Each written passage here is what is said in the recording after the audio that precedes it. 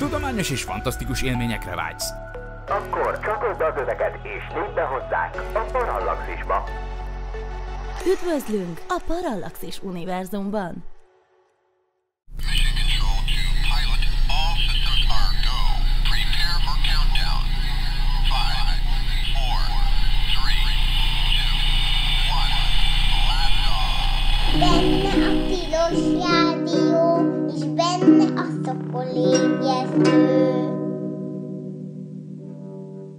Előre szólunk, hogy sajnos az élőadás során a távoli online kapcsolat hangminősége ezúttal nem volt a legcsodálatosabb. Mondhatnánk, hogy erről is az űridőjárás tehet, sőt még akár az is kiderülhet, hogy ebben van is némi igazság. Egy biztos, ennek ellenére is érdemes kitartani és meghallgatni az adást, mert Barta Vera minden olyan kérdést megválaszol, ami valaha eszünkbe jutott a sarki fényjel kapcsolatba. Hallgassátok szeretettel! Jó reggelt kívánok! Ez itt valóban a Tilos Rádió, a 90,3 MHz-es frekvencia modulált sávon, benne pedig a Szokolébresztő című műsor, vagyis az űrös műsor. Az én nevem dr. MZ Perix, vagyis Vince Miklós. Gyönyörű időjárás van itt a Földön. Itt nem is annyira említésre méltó hétágra süt a nap itt Budapesten. Sokkal érdekesebb viszont az, ami az űrben történik, az űridőjárás területén, és ez lesz a mai műsorunknak a témája. Hála jó Istennek nem egyedül kell erről okoskodnom, mert erre nem is lennék alkalmas, viszont itt van elméletileg a Skype vonalban nagyon szakértő kollégám, aki nem más, mint dr. Barta Veronika, aki a Földfizikai és űrtudományi kutatóközpont teljes nevén a HUNREN, vagyis a Hungarian Research Network, a Magyar Kutatási Hálózat Földfizikai és űrtudományi kutatóközpontjának tudományos főmunkatársa Sopronból. Na, szóval a témánk, ahogy mondtam, hát ez érdekes űridőjárási helyzet, ami hát egészen furcsa jelenségeket produkál az elmúlt napokban, hetekben.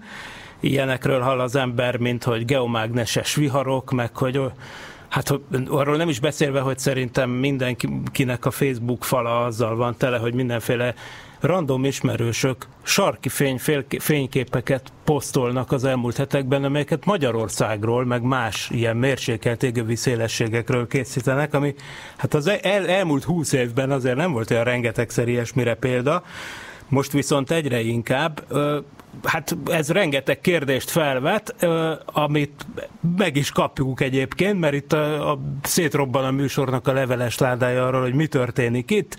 Eleve, mitől van sarki fény, miért most van ennyi, hogyan működik ez az egész, mit jelent az, hogy geomágneses vihar, mind meghalunk-e, vagy mindenben van, mi, hogyan fognak károsodni a műholdak, stb. stb. Rengeteg kérdés van úgyhogy szerencsére itt vagy nekünk, és légy szíves, mesélj röviden egy kicsit arról, hogy mi az, ami most történik, és miért most történik, és mennyire különleges ez erre felé. A folyamatok forrása, kiinduló pontja az maga a nap, és hát a nap, ugye, hogyha első közelítésben ránézünk, akkor tényleg egy ilyen sárga korong, tehát ahogyan így lerajzolt gyermekkoromban, vagy az én egy kisfiam lerajzolnák, egy gyönyörű sárga korong, de hogyha közelebbről ránézünk, akkor a nap az nem egy ilyen statikus valami, hanem nagyon is aktív és nagyon összetett folyamatok mennek végbe rajta.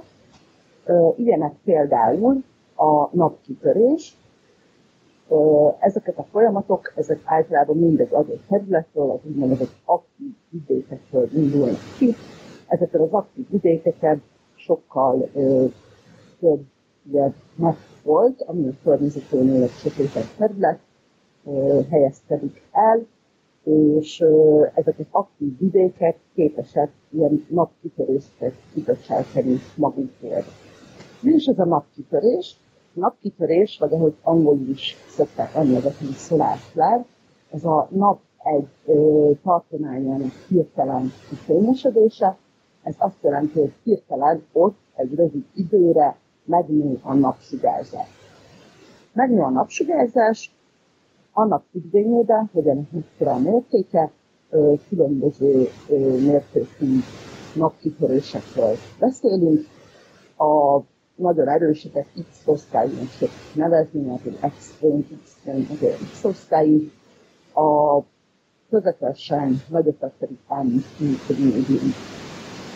És uh, igazából ezeket a napkitöréseket általában követi egy koronaanyag kilökődés, koronaanyag kidobódás, amely hát maga a név is elég jól leírja a folyamatot, ugyanis itt arról van szó, hogy a nap anyaga, a nap koronájának az anyaga, az kilökődik a bolygó közi mágneses térbe.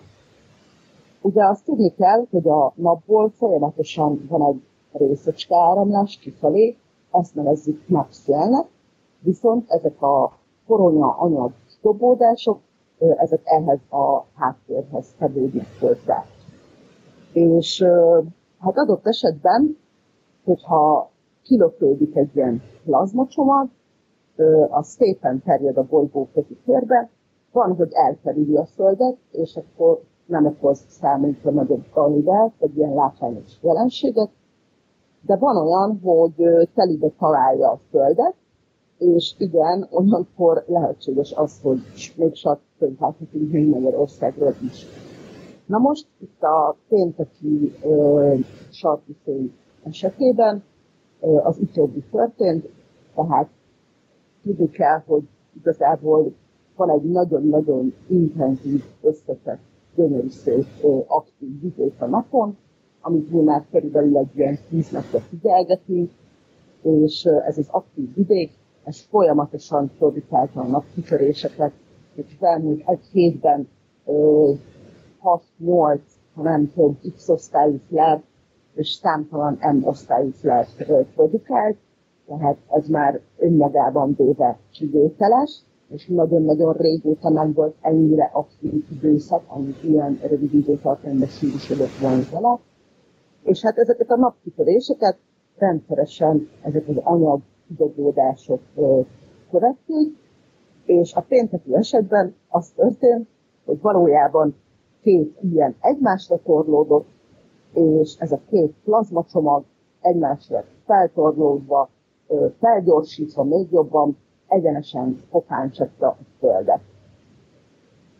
És itt most kicsit áttérnék a Föld oldalára, hiszen eddig a nap oldaláról néztük a folyamatokat, hogy mi történik, de a földi oldalról nézzük, akkor tudnunk kell, hogy valójában nagyon szerencsések vagyunk, ugyanis egy olyan bolygón élünk, amely véd minket ugye a napszéltől, a napnak a nagy energiájú erőszecskéitől. Mégpedig azért, mert a Föld bolygónak van egy kiterjedt mágneses tere. Valójában úgy gondoljuk, hogy ha ez nem lenne, akkor nem is lehetne élet Földön.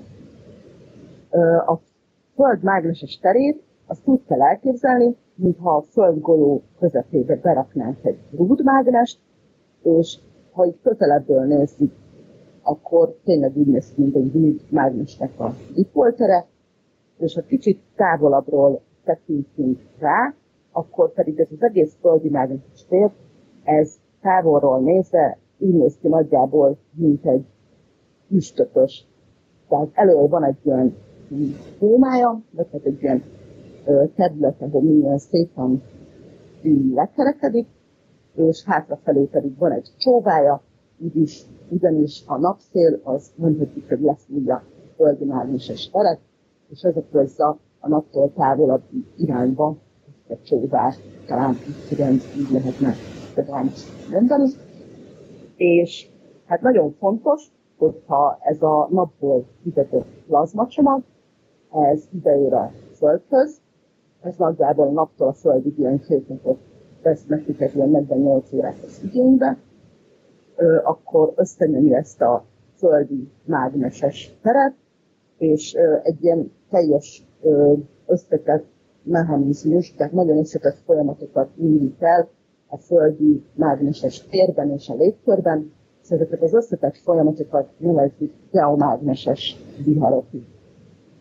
És visszatérve konkrétan a sarkifényre, ugye itt az történik, hogy a részecskéknek van egy olyan tulajdonsága, hogy ezek nem olyanok, mint a fény, hogy szabadon tudnak terjedni bármely irányban, hanem a részecskék, ezek a mágneses térhez kötődnek, tehát csak a mágneses tér mentén tudnak terjedni.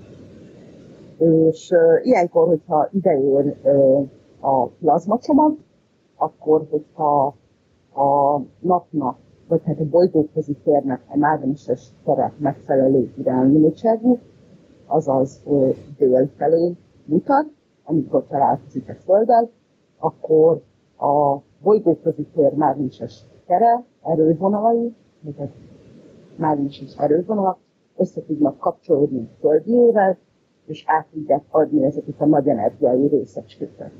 Tehát nem elég az, hogy volt egy hatalmas napkitörés, ezt követte egy anyag kidobódás, de még a mágneses tér is megfelelő irányba állt, tehát megfelelő volt a konstelláció, így a nap által felgyorsított nagy energiai részecskék egy az egybe be tudtak csatornázódni a földi mágneses térbe, és így be tudtak lökődni a mágneses erővonalak mentén a sarki övezetbe.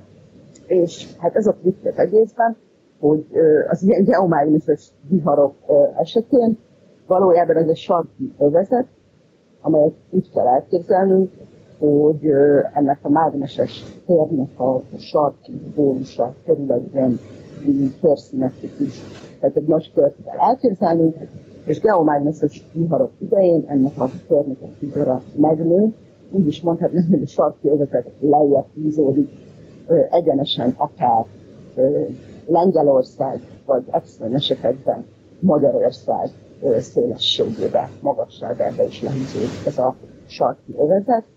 Na most itt két kérdésem is felmerül. Egy nagyon köszi ezt a bevezetőt. Azt mondtad, hogy nagyjából 48 óra még idejér a naptól a, böf, a, a, micsoda, a részeske kibocsátás egy flare idején.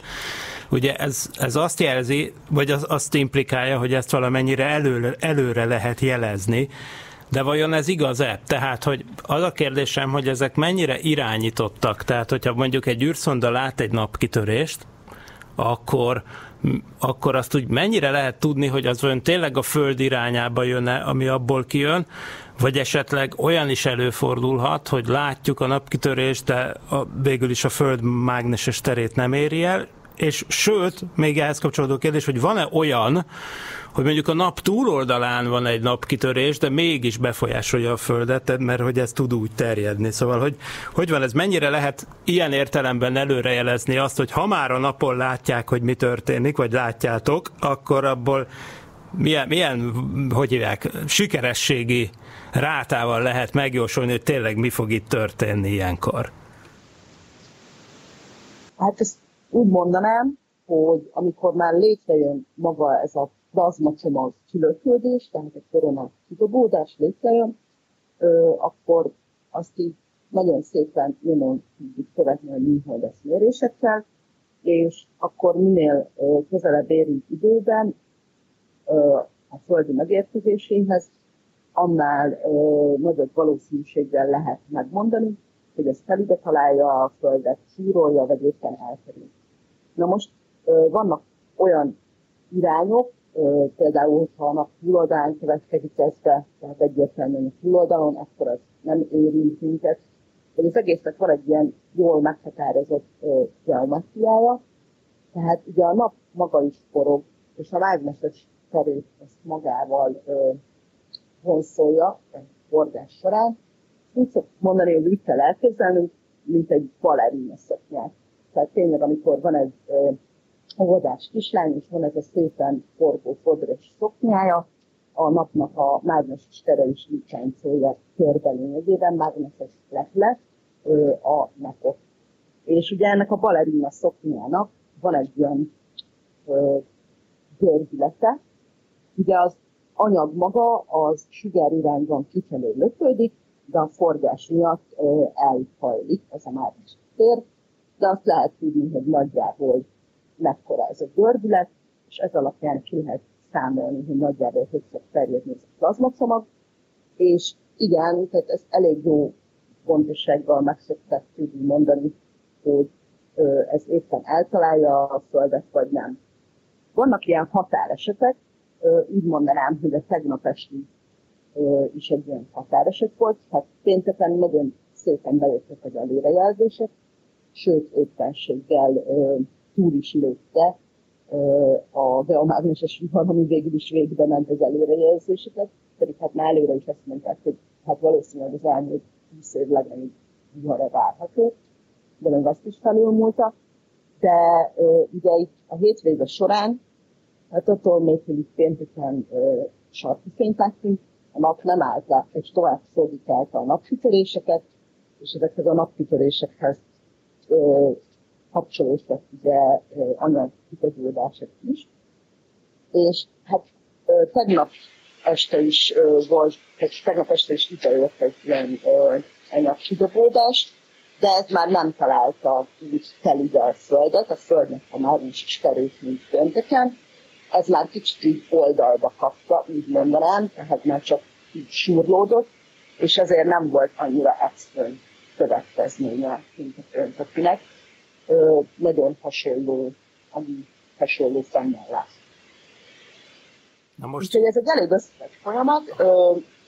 A terjedést azt nagyjából elég jól tudja becsülni, tehát úgy mondanám, hogy a 24 órás vagy 12 órás előrejelzések azok elég jók. Itt kitérnék arra, hogy ugye sokan azt is kérdezik, hogy jó, jó, de melyik paramétert kell néznünk, vagy mit kell néznünk ahhoz, hogy tudjuk, hogy most érdemes figyelni az eget, kimenjek-e a kamerámmal a rétre, vagy sem. És hát legtöbben az úgynevezett KP indexet ö, szoktuk javasolni. Ez a KP index, ez ö, a geomágneses aktivitás leírására szolgáló index. Ez egy globális index, és 13 ö, különböző, tehát főként a pólusok vagy sarkjózban elhelyezkedő állomás adatai alapján határozzák meg, és ez egy ö, 9-es skálán terjedő index, tehát a 8 pont valami a legnagyobb érték, amit elérhet, a 9. És hát ez a hétvégi vihar, ez elérte a 9-et. Tehát tényleg 2003 óta nem láttunk ilyet, ennyire erős aktivitást. Úgy mondanám, hogy az elmúlt fél évben is ugye az időkép webkameráink többször feltűnt a sarki fény, rövid vagy hosszabb időre, novemberben, meg ugye múlt novemberben akkor is tudtunk szabad szemmel is sarki megfigyelni Magyarországról, és hát ezekben az esetekben a 6-os, 7-es ért el a sarki fény, vagy bocsánat, a KP index, a 8-at nem érte el. Tehát igazából ezt a KP indexet érdemes figyelni, és ezt elég jó valószínűséggel előre tudják jelezni. Én tegnap hát nagyjából bejött nekik, mert azt mondták, hogy négy és hét között lesz, hogy négy lesz a minimum, és a maximum hét, és valóban egy nagyon rövid időre, fél órára vagy órácskára előtte a hetet, de inkább három hat között maradt a terméki során. Amúgy ezt hol tudja nézni valaki? Mondjuk a Noának a honlapján, vagy, vagy, ne, vagy van valami magyar felület is, ahol a KP indexről tájékozódhat az érdeklődő hallgató, vagy potenciális sarki fény észlelő állampolgár? A, a NOA oldalán ott, ott, ott valóban megvannak ezek az előrejelzések, vannak különböző ilyen Space radar oldalak, Space Radar Live például, viszont hát ha félig meddig mondhatjuk, hogy ez a reklám helye, rámonám, hogy most dolgozunk egy ilyen magyar oldalon, ahol majd ezek elérhetőek és követhetőek lesznek. Sajnos a nap megelőzött minket, tehát gyorsabban kerül be az érdeklődés középpontjába ez a téma most, hogy készen állna ez az oldal de nagyon remélem, hogy hamarosan el tudjuk indítani nyilvánosan is az űridő, a magyar űridőjárás megfigyelő portált, és egy pont ezekkel a hasznos információkkal tudunk meg szolgálni a közérdekű számára. Na most itt fölmerül kérdésként az is, hogy ugye van ez a 11 éves, nagyjából 11 éves napfolciklus, hogy a napnak van ez a kvázi periódikus viselkedés, hogy 11 évente eleve nagyobb a naptevékenység, és ugye most, most kezdődik Ugye? Tehát legalább most vagyunk, még csak a kezdetén vagyunk annak, amikor ugye elkezd fölfutni, és, és akkor most várható néhány év, amíg erőteljesebb lesz a naptevékenység. Most ez azt, most egyrészt, amit most mondtam, az igaz-e, ez az egyik kérdés, a másik meg, hogy ebből vajon következik-e az, hogy, hogy mostantól gyakrabban fogunk sarki fényeket látni néhány évig, vagy, vagy ez azért nem ennyire egyszerű? Hát ezt így nehéz megmondani. Abban igazad van, hogy most ebbe a 11 éves napciklusban a maximum környékén vagyunk, tehát még elvileg nem értük el a maximumot, tehát még a csúcs felé tartunk. Ezért az elmúlt másfél évben már egyre növekedő aktivitás látunk, tehát ez a felszítes nem most kezdődött, most már így erőteljesen csúcs felé haladunk. Viszont tudni kell, hogy magát, tehát azt is megpróbálják általában megbecsülni, hogy az előző ciklusokhoz képest ez a következő mennyire lesz aktív. Ez azt jelenti, hogy mennyi napkitörés, mennyi plazmacsomag kidobódás, mennyi gyalmás kivar rövidál majd, és hát a jelenlegi napciklus maga is meghaladta az előre becsült értékeket, tehát jóval aktívabb a nap, mint azt várták volna. Pont emiatt én ilyen nagy előrejelzésekben nem mernék bocsátkozni, az biztos, hogy a következő néhány évben még jó pár ilyen esemény, tehát napkitörés és geomágneses vihar vár ránk, hogy azoknak az elér, erőssége, az eléri a pénteki szintet, annak szerintem az egy kisebb a valószínűsége, mert hát, mint mondtam, igazából két napciklus volt, tehát 2003 óta nem volt ennyire erős geomágneses vihar meg napvihar, úgyhogy azt, hogy újra ilyenben legyen részünk, mint amit pénteken volt, ennek kisebb a valószínűsége, de hogy egy picivel kisebb, de látványos geomágneses viharok, és ezt követően sarki fény létrejöjjön, arra igenis elég nagy a valószínűség következő néhány évben. Úgyhogy szerintem érdemes, érdemes figyelni ezeket a folyamatokat, és érdemes készen állni a kameránkkal, akár sima, vagy egy jobb minőségű telefonnal hosszú expozíciós idei beállítással, hiszen nagyon-nagyon szép képeket lehet mérni. Na most, izgalmas, izgalmas igen, ez marha izgalmas, de még valamit szeretnék megérteni. Emlegetted az elején azt, hogy azt, hogy milyen színűnek látjuk, az ugye attól függ, hogy hogy, hogy milyen magasságban történik az ionizáció, vagy hát ez a felgerjesztés. Most közben az is eszembe jutott, hogy például megnézzük azt a képet, amit például ennek az adásnak az ajánlójába kitettem, amit a nemzetközi űrállomásról fényképeztek, ott jól lehet látni, hogy ezek, függ, hogy ezek az aurórák, ezek nagyon nagy magasságig függönyszerűen föl, fölmennek, ami azt jelenti, hogy hogy szerintem állítható, hogy akár több száz, egy-kétszáz kilométer magasnak simán tűnik, ugye, mert ezeken a képeken 400 kilométer magasságról fényképezik őket, tehát ez egy nagy, nagyon nagy magasságig fellógnak, és említetted, hogy nagyon erős aktivitás esetén előfordulhat, hogy ez a zóna a, a, ahol történik, az lehúzódik akár Lengyelország szélességig, vagy Magyarország szélességig, de most én arra gondoltam, abba gondoltam bele, hogy még hogyha nem is húzódik le, de ez a valami, ez, ez 100-200 kilométer magas, gyors fejszámolás alapján, ami ugye az, hogy a látótávolság az szemmagasságszor bolygó átmérő a gyök alatt, ugye jó közelítése, tehát akkor ez azt jelenti, hogy elméletileg én még akkor is láthatom egy ilyen sarki fény függönynek a tetejét, hogyha az nem is, nem is jön annyira le, hanem mondjuk, mit tudom én, mondjuk tip-tip-hop, mit tudom én, ezer kilométerrel északabbra van. Most e, e, e, ez, ez igaz? Nagyon jól mondod. Aha. Ez nagyon jól mondod, meg igen, tehát valójában, hogyha már Észak-Németország és Észak-Lengyelország, tehát az északi tenger partjáig, vagy ez alá egy kicsit lejön teteje, addig a szélességig, akkor azt Magyarországról már látod. És ez az oka annak, hogy például, hogyha a skandináv országokból látunk fényképeket, olyan sarkifény észleléseket, vagy videókat, akkor ott ugye mindig ilyen gyönyörű zöldes színű árkádokat látunk, és hát biztosan megfigyeltétek, hogy a Magyarországról lőtt képeken, meg a webkamerán alapvetően meg a vörös szín dominál. És ennek pont ez az oka, amit mondtál, hogy igazából a, Tehát, hogy ö, más, szerintem más légköri magassághoz tartozik. Tehát ö, Tehát a szép zöld legalább- része az nálunk már a horizont alatt van, ugye? Akkor ez őrület. Tehát a- Na, a- az szín az az atomos oxigénnek a gerjesztéséből fakad, és ez 240 kilométeres magasság alatt van nagyjából. A vöröses pedig hát ugyanúgy az oxigén gerjeszti, de az 240 km fölött. Tehát valójában azért a vöröset látjuk leginkább, meg az dominál, mert a Lengyelország fölött bekövetkező sarkufényt látjuk, tehát a sarkufény zóna mondjuk Lengyelország fölött van, és ahogy Magyarországról ránézünk, mi a 250 km környéki, vagy azt fölötti részt látjuk, és ez a vörös.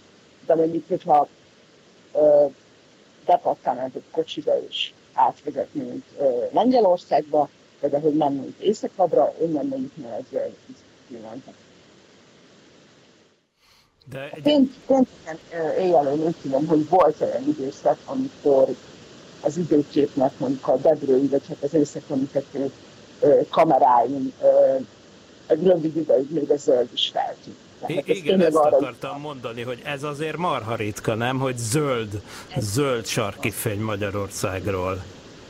Nem is Igen, tudom, igen, volt, volt. volt a feljegyzett történelemben sok példa erre. Ír, írják itt egyébként a chatben, hogy régen is volt sarki fény nálunk, én nem emlékszem ilyesmire, I- írja az egyik egyik kommentelő. Hát ugye persze nem is olyan egyszerű észrevenni, ugye, hogyha az ember nem tudja, hogy mit kell nézni. Igen, igen, igen, igen.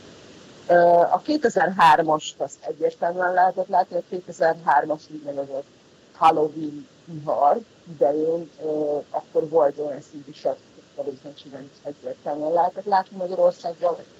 Ugye azt megelőzően 1989-ben volt egy ilyen geomágneses vihar, azt is szerintem egyértelműen lehetett Magyarországról látni, de egyébként van is egy ilyen szép gyűjtemény, amely egy több száz évvel ezelőtti sarkifejűt gyűjtőszer egészen 92 és történelmi feljegyzésekből is vannak példák erre, hogy Magyarország fölött, Erdélyország fölött, Székelyföldön láttak sarkifényt. A másik, ami szintén ezekből a történelmi fejlesztésekből ö, érdekes lehet, hogy igazából az, hogy mennyire nagy volt az aktivitás, azt mondjuk ilyen leírásokból lehet tudni, hogy mondjuk mekkora magasság látták a sarkviszonyok. Tehát úgy mondanám, hogy a horizonttól hány szökes látták, és hát a történelmi fejlesztésekből is van, tehát nagyon szökes magasság, de azt jelenti, hogy kb. tényleg a fél ősz volt, hogy zeteszállt sarkviszony. Tehát ez, ez történelmi távlatokban nem kilőfelezve, tehát 500 évvel ezelőtt volt erre példa. Ami rengeteget változott, ugye az a technológia, tehát technológiai fejlődés adott egy sürgetlen üretetet ezeknek a megfigyelésének, és hát most már mindenki az ötöt telefonjával is, hogy hát gyönyörű képeket csinálni, és lehet, hogy szabad szemnél egy vöröses terem tápot, esetleg a vörös és verengésben különböző tápolszerű struktúrákat is sügyeleket véltem felfedezni, de lehet, hogy az egész szabad szemmel kicsit olyan táprázatnak tűnt, de mondjuk beállította a kameráját 10 másodperces, vagy 30 másodperces expozíciós idővel, és azon meg már közvetlenül időműben látszódott a jelenség. Nyilván ilyen volt. Tehát ez az, ami hatalmas különbség szerintem az előző napciklushoz képest. A 20 évvel ezelőttihez képest még inkább, az előtti meg szinte összemérhetetlenül, hogy most már ugye rengeteg webkamera van, az időképnek például nagyon millió webkamerája van, ezek közül, hogy éjszaktalon, ezt bárki online elérheti, nézegetheti, és igazából, hogyha egy kis kedvetőre ez magában is megfelelő, hát ö, fényszennyezéstől kicsit de hát ugye ennyire színesebben, mint most pénteki akár Budapest közepéről is, láttam is képet, amit az Erzsébet hídről lőttek, és ezen is megfelelő expozíciós idővel beállítva a kamerát, gyönyörű a fény. Tehát igazából ez az, ami rengeteget változott, nem a naptevékenység.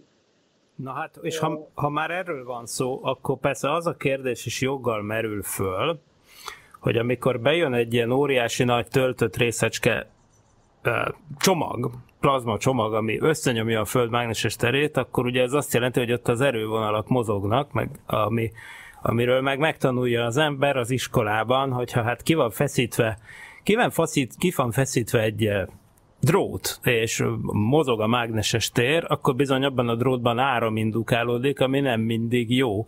Úgyhogy Úgyhogy ugye a kérdés az, hogy, hogy pé- ugye emlékszem egy olyan esetre, talán 10-15 évvel ezelőttről, de te több ilyet is tudsz, mert szerintem pont tőled hallottam, hogy e- egyszer volt egy nagyobb, nagyobb geomágneses vihar, és akkor Kanadának egy részén konkrétan kiesett az áramszolgáltatás, mert hát a, a így keletkező plusz áram a távvezetékekben az, az le, szegény kis trafók ott lehúnyták a pici szemüket, és, és ilyes problémák történnek. Nem is beszélve a műholdakat ért károkról, amiről szintén lehet egy-két példát tudni, amikor konkrétan kiütött egy-két műholdat egy ilyen, hogy most jelenleg, amikor ilyen tényleg ilyen extrém erős ez a, ez a KP index, például amit mondtál, hogy ez, ez most van-e félnivalónk, ugye írják, hogy, hogy, hogy jönnek értünk, nem ússzuk meg, hát talán erről nincs szó, de hogy például van-e félnivalónk ilyen módon, akár a földi, akár az űrbeli elektronikák szempontjából, amikor egy ilyen helyzet van, mint mostanság? Hát igen, igen, abszolút. Tehát nagyon jól emlékszel, hogy igen, tehát magában ugye az ionoszférában, amely a légkörnek a részben ionizál tartománya, körülbelül ilyen 100 és 800 km-es magasságon helyezkedik el, és ennek is az alsó része, ami olyan 100-150 km közül esik, ez egy elég nagy vezető képességi réteg, és ilyen geomágneses viharok idején igen, elég nagy áram indikálódik, amely hatást gyakorol a földi áramrendszerekre, tehát a villanyos hálózata, pontosan így, ahogy mondtad, és hát ebben szintén leginkább érintettek az északi országok, tehát Európában ugye Skandinávia, a külső területén pedig Kanada, vagy az usa az északi államai. És hát ugye a dolog pikantériája, hogy ezek viszonylag ugye ritkábban lakott területek, tehát hosszabb, nagyobb, hosszabb vezetőket helyeztünk el, ritkában vannak ilyen trafok, és igen, ezeket nagyon-nagyon szépen ki tudja ütni egy-egy ilyen geomágneses vihar, és hát ezért is nagyon fontos az, hogy ezeket minél inkább előre jelezzük. Másik, amit mondtál, meg pontosan a, a műholdas technológiák, az elektronika. Meg hát, ami ugye nem is gondolunk vele, de most már valójában minden egyes, tehát hogy a telefonunkkal, vagy a hétköznapi életünkkel nagyon, nagyon nagy szerepet játszik benne a műholdas kommunikáció és a navigáció, hogy gyakorlatilag folyamatosan műholdas rendszereket használunk. Akár egy banki átutalás során hogyha már pénzt akarunk átutalni, ahhoz is műholdas kommunikációt veszünk igénybe. És az ilyen nagy léptékű viharok során, hogyha ezeket nem sikerül megfelelően előrejelezni, és védeni a rendszereket, tehát annyit tudunk tenni, ugye, hogy, hogy, hogy, meg, hogy előre és akkor megpróbálják védeni valamennyire a műholdakat. De, és akkor egy kicsit tudjuk csökkenteni a kockázatot ahhoz képest, hogyha ez előrejelzés nélkül itt blue találna be. Viszont a másik dolog, amikre nagyon-nagyon hát, haza tud vágni, az maga a navigáció, a tájékozódás. És ez is olyan, hogy mondjuk régebben ez kevésbé jelentett problémát, de manapság akár a repülés irányításban akár hogyha belegondolunk tényleg a egyre modernebb a jövőben mutató kezdeményezésekben, mint a drónok használata minél jobban elterjedt, vagy az önvezető mindenféle, tehát nem csak az önvezető autók, hanem az egyéb önvezető járművek.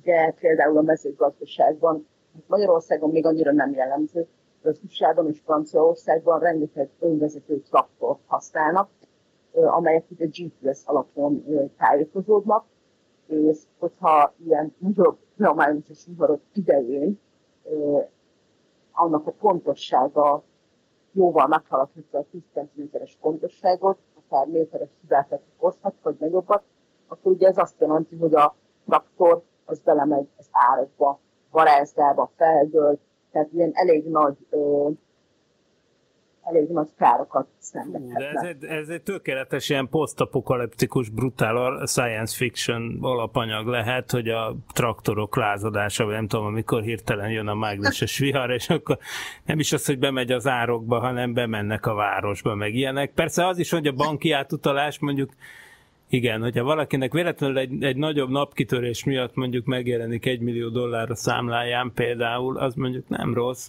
Viszont, viszont mi, igen, azért, azért, azért ez őszintén szólva elég para tényleg, hogy, hogy, hogy a GPS rendszer is érzékeny rá, azért ez, ez furcsa, tényleg, hát ebben a pillanatban az én feleségem az például egy repülőn ül valahol Budapest és Párizs fölött, úgyhogy, úgyhogy most egy kicsit, kicsit, kicsit összeszorult nekem is a gyomrom, most itt tényleg volt már, volt, ezek ilyen elméleti dolgok, vagy volt olyanra példa, hogy, hogy tényleg mondjuk egy, egy, egy úton levő repülő, mondjuk valami minél északibb szélességen feltehetőleg, bár mondjuk nem, hát a GPS-ről van szó, akkor végül tök mindegy, hogy hol vagy, tehát hogyha, hogy volt már olyan, hogy, hogy egy, vagy ez ilyen elméleti félelem, hogy ez tényleg, tényleg okozott valami hibát mondjuk egy repülőgép navigációjában.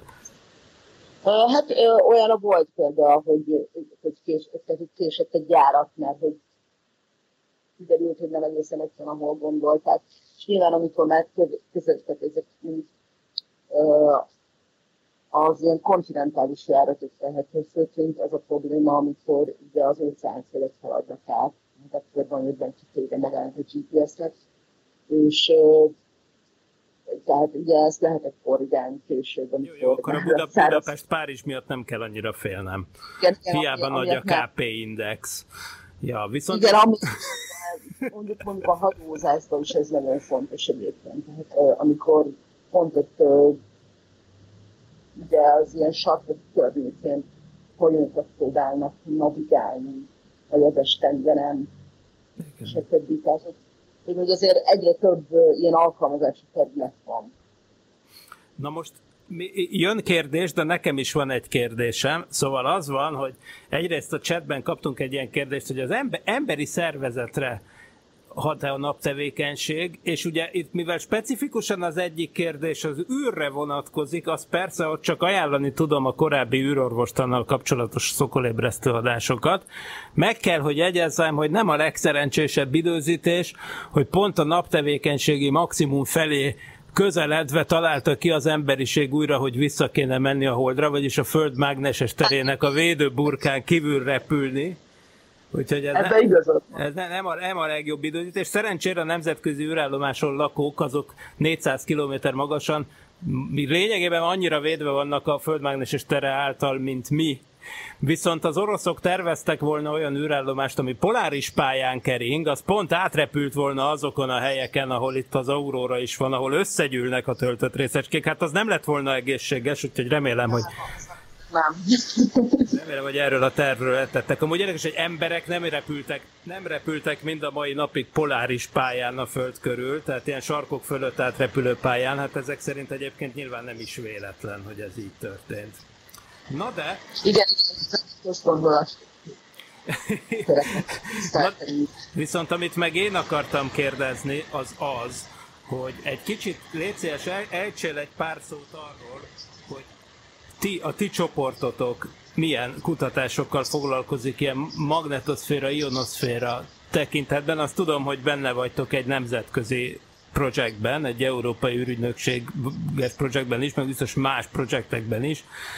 Ti vizsgáljátok, szondázzátok az ionoszférát, meg ilyesmik, ami egyrészt ugye látható, hogy annak közvetlen társadalmi hasznosulása is van például ilyenkor, mert hát például ezeken is múlik talán, hogy milyen előrejelzéseket lehet csinálni ilyen KP index ügyileg, meg ilyesmik de tudományos szempontból önmagában is marha érdekes, szóval erről, ha esetleg itt az adás vége felé közeledve ejtenél egy pár szót, azt nagyon megköszönném. Bár most éppen lehet, hogy a naptevékenység fokozódása miatt, de most még, még rosszabb lett a jel per zaj viszony, úgyhogy köszönöm a hallgatóknak, hogy kitartanak, de valójában nagyon feelinges, hogy egy geomágneses viharról szóló adás recseg ennyire. Tehát ez végül is ad egy ilyen plusz, plusz izét, érdekes érzést az egésznek. Na, most várjál, próbálom állítgatni a hangerőt, és akkor Léci, erre mondj valami okosat, hogy mivel foglalkoztok ti.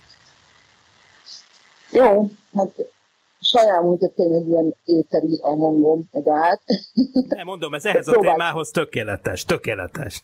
Ne aggódj emiatt. Majd utólag egyébként majd felrakunk, nem is a Tilos Arivumba, de utána majd a Parallaxisnak a podcast platformjain meg, meg fog jelenni csütörtökön ez az adás, és akkor majd utólag próbálok valami utólagos zajszűrést keresztül küldeni ezen.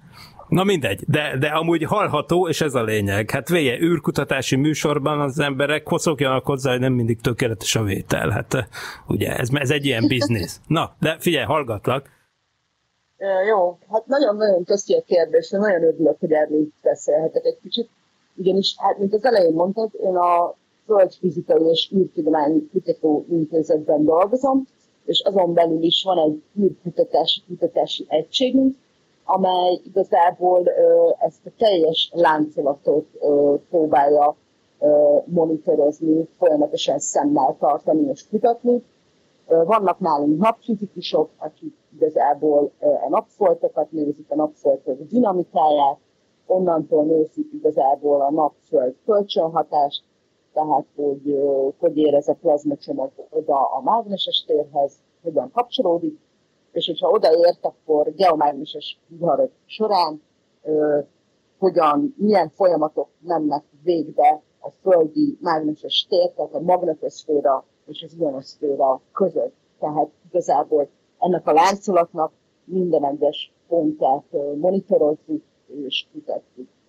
Amely hozzám közelebb áll, én ugye az ionoszféra csoportnak vagyok a vezetője, és itt a csoportunkban az ionoszférában zajló folyamatokat figyeljük meg.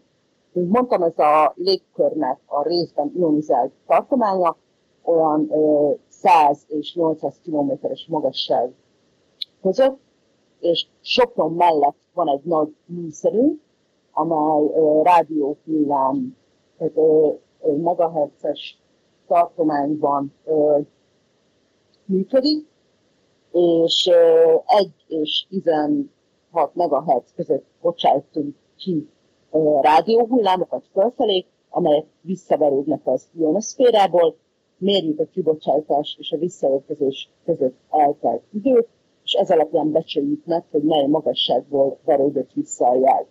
És ilyen módon alulról le tudjuk tapogatni az ionoszférát, azaz meg tudjuk határozni, hogy mekkora magasságban, mekkora volt a frekvencia, és az alapján pedig elektron sűrűséget tudunk számolni, tehát meg tudjuk figyelni, hogy milyen magasságban mekkora volt az elektron sűrűség és így tudjuk nyomon követni, hogy például egy ilyen geomágneses vihar során mekkorát változott az elektronsűrűség, magasabbra tolódtak-e az egyes ionoszféra rétegek, a visszaverődést, vagy alacsonyabbra, tehát így mi történt. Ezen kívül pedig hát műholdas adatokat is használunk ahhoz, hogy megfigyeljük ennek az egész régiónak a változásait, és mint ahogyan arról már beszéltem, a műholdas kommunikáció és a rádiókommunikáció miatt is rendkívül fontos ez a téma, mert az ionoszféra az egy olyan átmeneti tartomány a földi semleges légkör és a külső űr plazma között, amely mind a kettővel kapcsolatban van, és azért nagyon fontos, hogy az ionoszféra ugye visszaveri a rádióhullámokat, a műholdas hullámok vagy a műholdas kommunikációban a hullámok pedig azon mennek keresztül. És ezért igazából tehát nagyon fontos megfigyelése És hát ahogyan mondtad, jó pár ilyen nemzetközi projektben vagyunk, és ebből az egyik legnagyobb ilyen európai projektben a hullámszerű anomáliákat próbáljuk beazonosítani és előrejelezni, amelyek elsősorban a navigációs szempontjából fontosabbak, és érintőlegesen már szóba került, hogy ugye minél jobban fejlődik a technológia, és minél inkább használnánk különböző szegmensekben, tehát területeken ezeket az önvezető járműveket, drónokat, stb., annál nagyobb pontosságra van szükségünk. És mi ebben a projektben azt próbáljuk megcélozni, hogy előre jelezzük azokat a hullámszerű anomáliákat az ionoszférában, amelyek ezt a 10 cm-es pontosságot hazavágják, tehát hát ebben hatalmas hibákat okoznak.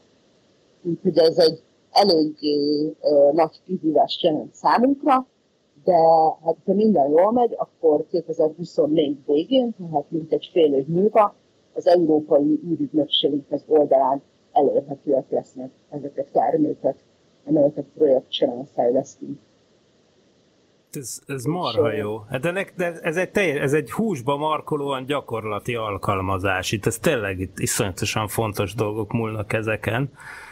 A, hihetetlen. Azt nagyon, nagyon. Na figyelj csak, még, még, még tovább kísértük a sorsot, mert nem elég, hogy itt küzdünk a, a háttérzajjal, de figyelj, most jön az a pont, hogy még a telefont is bekapcsolom, a, mert a szokás szerint az adás végén, bár most a chatben folyamatosan jöttek a kérdések, mert már ennyire fejlettek vagyunk, viszont a kett, budapesti előhívószám után a 215 37 73 is él, úgyhogy elméletileg Elméletileg az úgy van, hogy te is fogod hallani, ha esetleg megcsörren a telefon és bejön egy kérdés.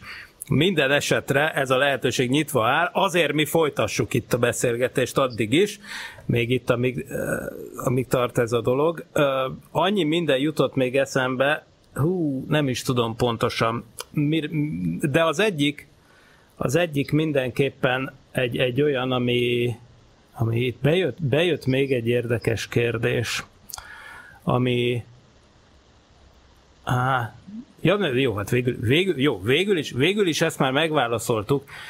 Egy kicsit, igen, a, ami bennem fölmerült, és hát ez lehet, hogy egy kicsit övön aluli, mert ehhez egy, lehet, hogy biológust kéne megkérdezni persze, de hogy vannak ilyen dolgok, hogy, hogy az állatok használják a mágneses tereket navigációra. Tehát, hogy például madarakról azt hiszem ki is mutatták, hogy ugye ilyen kísérletekben, hogy berakták őket mágneses térbe, vagy éppen olyan helyekre, ahol nincs mágneses tér, mint a Soproni intézetnek is most lett egy ilyen csodálatos laborja, ahol pont az a poén, hogy kikompenzálja a Föld mágneses terét, tehát egy nulltér labor, és akkor beteszi az ember a szerencsétlen állatot, és akkor kiderül, hogy a termesz nem tudja, hogy merre építse a termeszvárat, mert kiderült, hogy mindvégig egy iránytűt hordott az agyában, és hogy, hogy a madarak is azért tudják tudják, hogy merre kell menni esetenként, mert hogy bizony simán lehet, hogy érzékelik a mágneses teret. Na most Mondom még egyszer, természetesen tudom, hogy, hogy egy csillagász űrkutató, geofizikus, magnetoszféra, ionoszféra szakértőnek címezve egy, kicsit övönaluli kérdés, de mégis talán tudsz erről bármit, hogy az élő világra gyakorolt ilyen jellegű hatása a mostanihoz hasonló a mágneses viharhoz, hogy például ilyenek, hogy rossz irányba repülnek a madarak, vagy neki mennek a nem tudom minek, vagy ilyesmit, hogy, hogy, hogy, hogy ilyesmi, ilyesmiről van adat? Mert egy hollywoodi katasztrófa filmben persze ez is marha jól mutat, vagy a lazac rossz irányba úszik föl a vízen, vagy nem tudom, tehát hogy, hogy, hogy, hogy van ilyen effektusról tudomásod? Hát az az igazság, hogy tehát teljesen jogos a felvetés, és igen, hallottam ilyenről, hogy a madarak elveszítik a tájékozódási képességüket nagyobb geomágneses viharok idején amelynek hát a kedves nézők számára talán még érdekesebb, és lehet, hogy még inkább ilyen uh, sci-fi uh, kérdés, hogy ugye az emberi szervezetre milyen hatást gyakorol, és az utóbbi időkben egyre több olyan jellegű uh, tanulmányt is uh, láttam, hogy uh, nagy mintavételezésű statisztikai vizsgálatot próbáltak lefolytatni, hogy mondjuk az egyes geomágneses indexet és mondjuk a szívrohamok vagy agyvérzések bekövetkezési számában találtak, található el összefüggést, és adott esetekben, most tényleg nem fogok pénztékimot mondani, de volt, hogy szignifikáns összefüggés itt a kimítás Tehát én úgy gondolom, hogy ez is egy olyan terület, amely ö, most nagy, tehát ö, nagyon ö, változó fejlődő szakaszban van, hogy tényleg egyre inkább kutassuk ezeknek a viharoknak vagy folyamatoknak az egészségügyi, tehát az állati, de ugyanakkor az emberi egészségre gyakorolt ö, hatása. Úgyhogy hát nagyon-nagyon sok kérdés és nagyon sok feladat vagy munka áll még előttünk, nem csak előttünk, hanem hát tényleg az orvos kollégák is ebben az adatkozásban. Ez egy, egyre aktívabb terület, és egyre több kérdés vetődik semmilyen következésben is. Igen, igen, meg tényleg az is egy fő, ez is egy fontos üzenet, és szerintem az is hangozzon el egy ilyen műsorban, hogy nagyon sok szó esik például a föld klímájáról, de nagyon sokan hajlamosak a Föld klímarendszerét úgy tekinteni, beleértve egy csomószor még a klímamodellezők is, mint hogyha az csak úgy a Föld egy, egy hát nem az, hogy egy zárt rendszer, természetesen mindenki tudja, hogy napból jön a kakaó, de hogy a, hogy, hogy, hogy a, a földi időjárás és a földi klímát valójában még ráadásul még ezzel az űridőjárással és az űrbeli, uh, hogy mondjam, geomágneses viharokkal és egyebekkel is össze kell kapcsolni, mert úgy tűnik, hogy még a között is egyértelmű kapcsolat van. Vagyis hát vannak, akik azt mondják, hogy nem csak nyilvánvaló, hogy a naptevékenységnek van egy óriási hatása, az, hogy mennyire süt a nap, az nyilván eleve egy fontos tényező egy klímamodellben, de még abból a szempontból is, hogy például a villámtevékenységek például, és a villámtevékenységen keresztül ott van a felhőborítottság, meg az, hogy mennyi csapadék hullik, még ilyesmi, tehát ez, ez mind-mind olyasmi, amik kimutatható kapcsolatban vannak az űri, űridőjárással, ezért aztán rettenetesen fontos, és még itt is rengeteg felderíteni való van. Amennyiben te ezzel egyetértesz, akkor, akkor mond. De ugye ezt jól látom, hogy itt, hogy itt van, egy ilyen, van egy ilyen aspektus, hogy, hogy ez a, a, az atmoszféra magnetoszféra, mert a lenti semleges légkör és a fönti nem semleges légkör és magnetoszféra közti kölcsönhatások, azok még marha fontos titkokat rejtenek, amiket mind meg kell fejteni nagyon gyorsan. Abszolút így van, abszolút így van, nagyon jól látod. Ezért úgy mondanám, hogy alapból szokták ezt mondani, hogy így kell gondolkodni, hogy földrendszer. Én ezt még inkább kiterjeszteném, én ezt napföldrendszernek mondanám, és igazából, hogyha, tehát hogy szerintem úgy fontos lenne, hogy erre az egészre tényleg így tekintünk, mint egy összetett, többszörösen csatolt rendszerre, és az egészében próbáljuk megérteni a folyamatokat, nem csak egy-egy kisebb szegmensét időre és azt egyön kutatva, hanem tényleg próbáljuk rendszerbe behelyezve látni, megpróbálni megközelíteni, hogy így történik.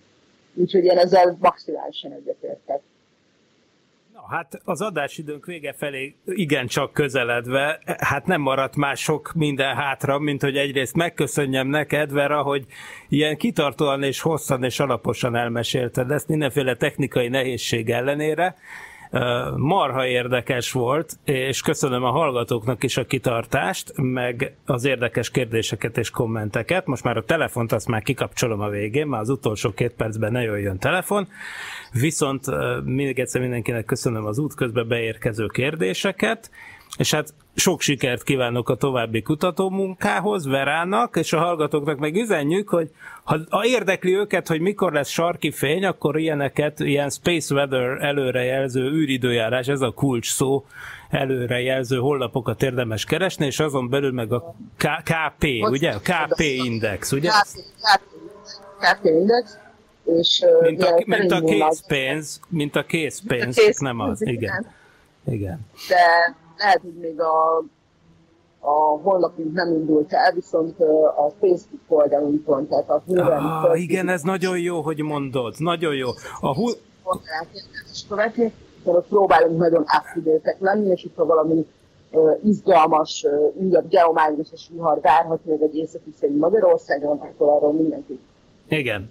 Tehát még egyszer a HUN kötőjel REN Földfizikai és űrtudományi Kutatóközpont tradicionálisabb nevén, vagy kutatóintézet, bocsánat, én már össze vagyok zavarodva már, na, bocsánat, kérek, még egyszer, Földfizikai és űrtudományi intézet, igaz? Ez, ez így megállja a helyzet. Tradicionális nevén FI. De e, mindegy, ez, ez beírva már a Facebookon ki fog jönni, és ott mindig van ezzel kapcsolatos poszt, főleg az elmúlt napokban tényleg minden nap több, több is volt, olyan is van, amikor Vera beszél és mond okos dolgokat, és a rádióval ellentétben még képeket is mutat hozzá. Egyébként meg a Szokolébresztőről meg ugye meg fog jelenni mindig a csütörtökön a kísérő cikk is, és a kísérő cikkbe elképzelhető, hogy még be tudunk rakni egy-két ábrát is, hogy jobban értse mindenki, hogy mi történik oda fönt az ionoszférában és a magnetoszférában ezekben a percekben, napokban és hetekben. Na, viszont az adásidőnk végére értünk, annyit még el szeretnék mondani, hogy kettő hét múlva természetesen lesz szokolébresztő, addig vissza lehet hallgatni az archívumból a régebbi adásokat is, több helyen, a Tilos archívumban is, meg persze a sokolebresztő.hu, tehát szokolébresztő.hu felől közelítve mindenféle egyéb platformon, beleértve a YouTube-ot, a Soundcloud-ot, meg az én nem tudom mi minden még el lehet érni majd az adásokat, meg hát most is el lehet érni az elmúlt, nem tudom, jó, nem tudom, már lassan, már lassan 200, de azért nem, de 160, 170 valamennyi valamennyi adást, szóval már egyre, egyre több van. Vera, még egyszer nagyon köszönöm a részvételt, és a kedves hallgatóknak figyelmet, két hét múlva szokolébresztő, még nem árulom el, miről lesz szó, de nem lepődnék meg, hogyha egyébként véletlenül a témának köze lenne a navigációs műholdakhoz. Ám, de ez még szervezés alatt áll, úgyhogy igen, köszönöm szépen még egyszer, és További jó napot és jó hetet kívánok mindenkinek, Verának és hallgatóknak is. Sziasztok! Nem volt elég a tudományból és a fantasztikumból? Olvasd a parallaxis.emtv.hu, lájkold a Facebook oldalunkat, nézd a YouTube csatornánkat, és hallgassd a Szokolébresztőt a Tilos Rádióban. Hamarosan jön a következő rész.